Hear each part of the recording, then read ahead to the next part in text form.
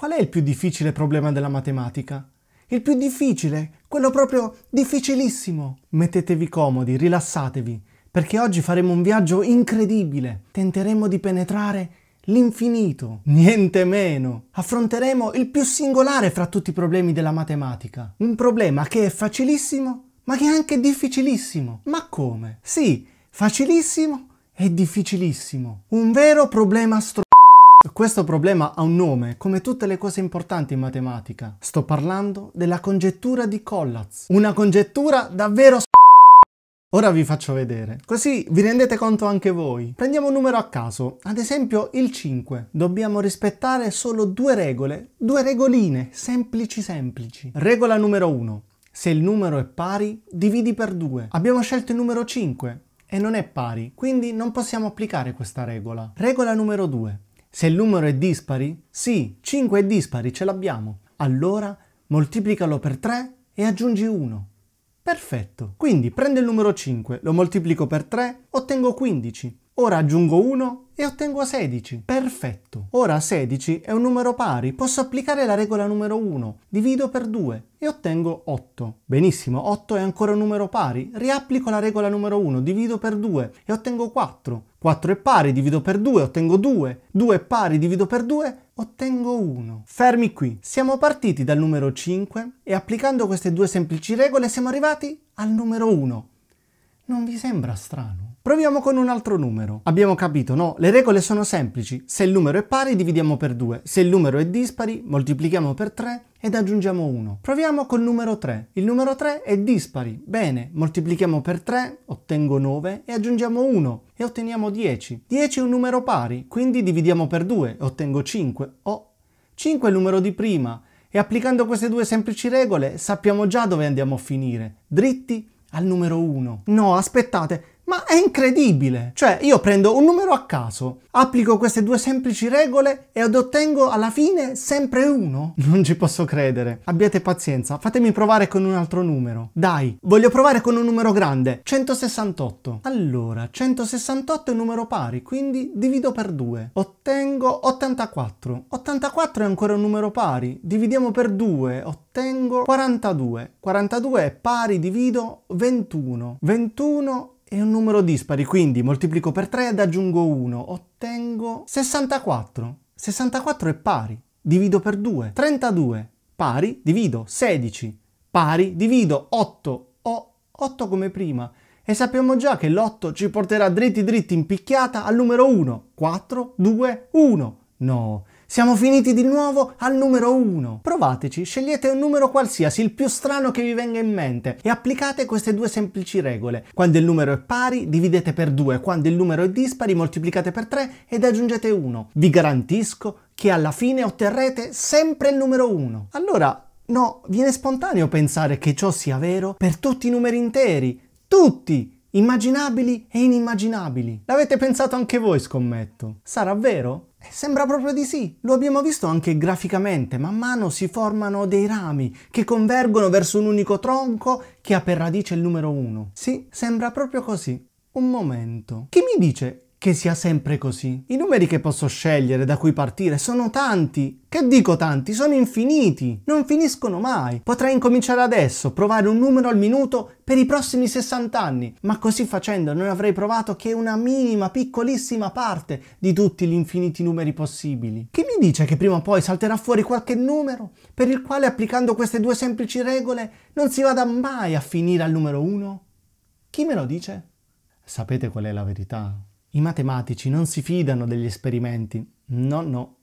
I matematici hanno paura di fare la fine del tacchino induttivista. C'era una volta un tacchino che si mise ad osservare e dedurre. Così, per distinguersi, iniziò ad osservare e dedurre. Osservò che tutte le mattine alle 9 arrivava il cibo. Bene, posso dedurre che il cibo arrivi puntuale ogni mattina alle 9.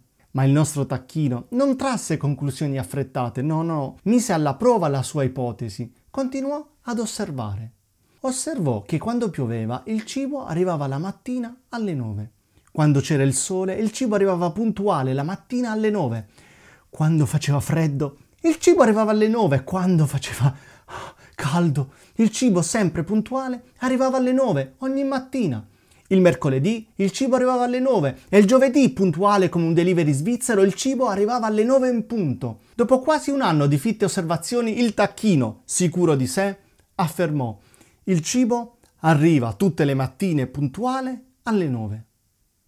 Peccato che il giorno dopo era la vigilia di Natale e la mattina alle 9 in punto, anziché il cibo, arrivò il macellaio. Questa storia ci insegna che se tutte le volte che proviamo con un numero e applichiamo queste due semplici regole arriviamo al numero 1, non è detto che ciò sia vero sempre. Gli esperimenti non bastano. Bisogna dimostrare la verità di un'affermazione con il rigore della logica e bisogna dimostrarlo per tutti gli infiniti numeri. Il primo a formulare questa ipotesi, cioè che se applichiamo queste due regole prima o poi finiremo sempre al numero 1, è stato Lothar Kollatz nel 1930. E da allora questo problema è noto come congettura di Kollatz. Sono passati più di 90 anni ormai, ma nessuno è riuscito a dimostrare che questa ipotesi sia vera o sia falsa. Nessuno! E ci hanno provato le più grandi intelligenze del pianeta. Ci ha provato Terence Tao, considerato l'uomo più intelligente attualmente vivente presente e ci ha provato persino Paul Erdos, il più grande matematico del Novecento, capace di pubblicare più di 1500 articoli e di risolvere problemi difficilissimi. Ma dinanzi a questo problema ha dovuto chinare il capo,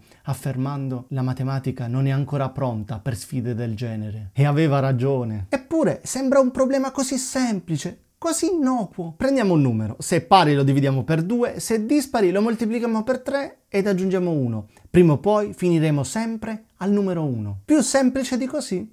Ve l'avevo detto che era un problema. Oh! C'è la censura. Stro... Sì, mi censurano proprio. Stro...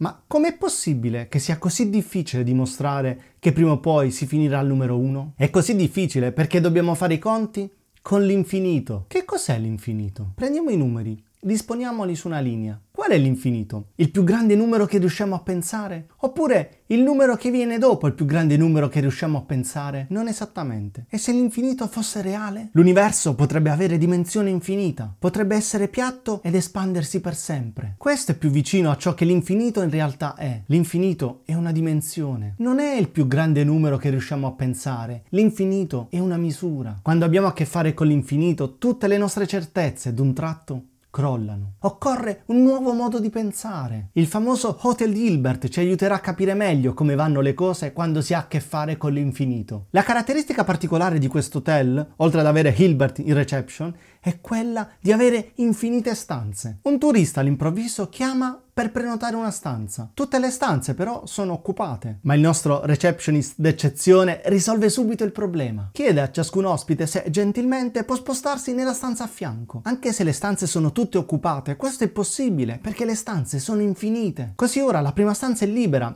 ed il turista avrà posto per alloggiare. Dopo un po' arriva un intero autobus pieno zeppo di turisti. Bene, ora abbiamo due problemi. Uno, l'hotel è tutto pieno. Due, i turisti arrivati sono infiniti. Per fortuna alla reception c'è Hilbert. Hilbert chiede a ciascun ospite se gentilmente può spostarsi nella stanza che è il numero doppio rispetto alla propria. Chi è nella stanza 1 dovrà spostarsi nella stanza 2.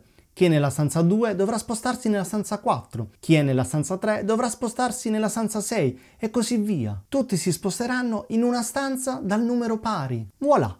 D'un tratto tutte le stanze dispari sono libere e i numeri dispari sono infiniti, così come infiniti sono i numeri pari. Ecco fatto, un intero gruppo di infiniti turisti ha trovato alloggio in questo hotel. Dopo un po' arrivano infiniti autobus contenenti infiniti turisti. Che serata movimentata. Ed ora nessun problema, alla reception c'è Hilbert. Hilbert chiede a ciascun ospite se gentilmente, come prima, può spostarsi nella stanza che è il numero doppio rispetto alla propria. E così tutti si spostano nelle stanze dal numero pari, lasciando libere tutte le stanze dispari. Sì, ma ora abbiamo infiniti pullman pieni di infiniti turisti. Calma. Gli infiniti turisti del primo autobus li sistemiamo così. Li mettiamo nelle stanze potenze di 3, cioè il primo turista del primo autobus lo mettiamo nella stanza numero 3. Il secondo turista del primo autobus lo metteremo nella stanza 3 al quadrato, cioè 9. Il terzo turista del primo autobus lo metteremo nella stanza 3 al cubo, cioè 27. E così via. Il primo pullman è sistemato. Tutte le infinite potenze di 3 sono state occupate. Ora sistemeremo i turisti del secondo autobus nelle potenze di 5, Quindi il primo turista del secondo autobus lo metteremo nella stanza numero 5, il secondo turista del secondo autobus lo metteremo nella stanza 5 al quadrato, 25 e così via. Il secondo pullman lo sistemeremo nelle stanze potenze di 5. Avete capito come continuare? I turisti del terzo autobus li sistemeremo nelle potenze di 7, i turisti del quarto autobus li sistemeremo nelle potenze di 11. Ogni infinito gruppo andrà ad occupare tutte le potenze del numero primo successivo. E i numeri primi sono infiniti. E voilà, abbiamo sistemato infiniti pullman contenenti infiniti turisti. Quando tutto sembrava fantasticamente sistemato, accade l'incredibile. Arriva un autobus pieno zeppo di turisti. Sembrano infiniti come prima, ma hanno qualcosa di strano questa volta. Ogni turista ha un nome composto da infinite lettere. Hilbert è disperato. Come è disperato? Abbiamo infinite stanze, siamo riusciti a sistemare infiniti turisti di infiniti autobus? Sì, ma questa volta non c'è posto per tutti. No, aspetta, non ci credo. Eh sì, perché prendi il primo turista, mettiamolo nella prima stanza, poi il secondo nella seconda stanza e così via. Resta fuori un ospite. Ma com'è possibile? Chi resta fuori?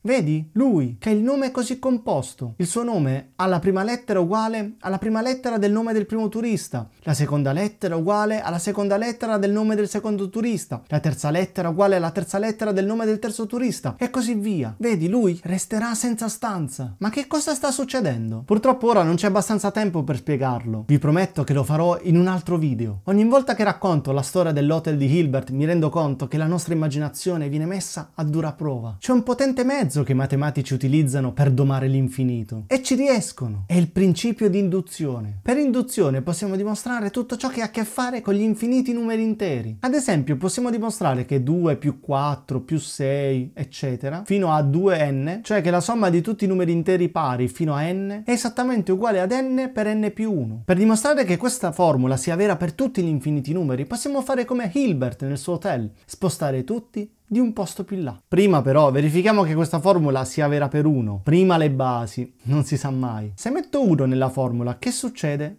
Ottengo 2, perché 1 per 1 più 1 fa 2. Ci siamo il primo numero pari è proprio il numero 2. Bene, almeno le basi ci sono. Ora possiamo procedere come nell'hotel di Hilbert. Supponiamo che tutte le stanze siano occupate, cioè che la nostra formula sia vera fino al numero n. Ora spostiamo tutto di un numero e vediamo cosa succede. Scriviamo n più 1 al posto di n nella nostra formula ed otteniamo n più 1 per n più 1 più 1, che è uguale ad n più 1 per n più 2. Spostiamo tutto di 1 anche nella somma dei numeri di prima, cioè scriviamo 2 più 4 più 6 più 8 fino a 2n più 2 per n più 1.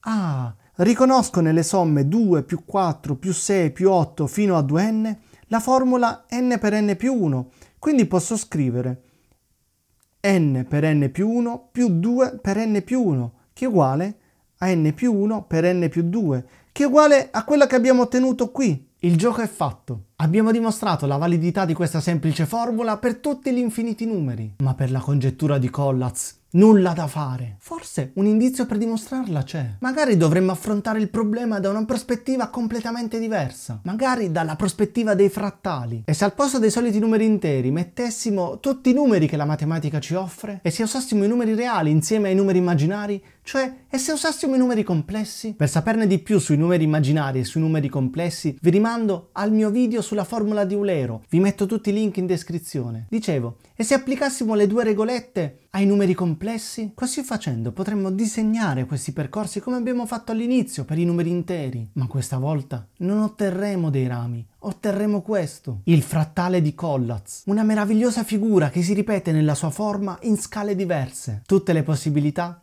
restano aperte. L'affascinante viaggio che abbiamo fatto grazie alla congettura di Collatz ci ha permesso, come pochi altri problemi nella matematica, di prendere coscienza del fatto che noi siamo creature finite, le nostre vite sono finite. La nostra mente però può spingerci ad andare oltre le apparenze, può consentirci di intuire l'infinito, di abbracciare in un unico pensiero, in un'unica equazione, l'intero universo. Grazie per aver visto questo video, vi ricordo se non l'avete ancora fatto di iscrivervi al mio canale, è gratis. A presto!